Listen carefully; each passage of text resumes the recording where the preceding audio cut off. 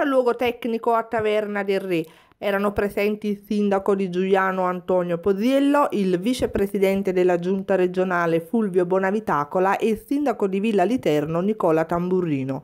L'ispezione è stata messa in atto per verificare lo stato di avvio del cantiere al fine di rimuovere le prime 300 tonnellate di ecoballe. Operazione che partirà il prossimo 30 maggio. I rifiuti saranno trasportati in altre regioni italiane per essere regolarmente smaltiti.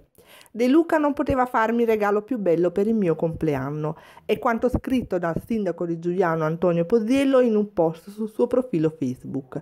Sarà, secondo il presidente De Luca, una giornata storica e l'inizio della bonifica di tutto il territorio nella nostra regione. I trasferimenti successivi proseguiranno il prossimo 31 maggio e nei primi giorni di giugno. La bonifica della Terra dei Fuochi ha finalmente inizio.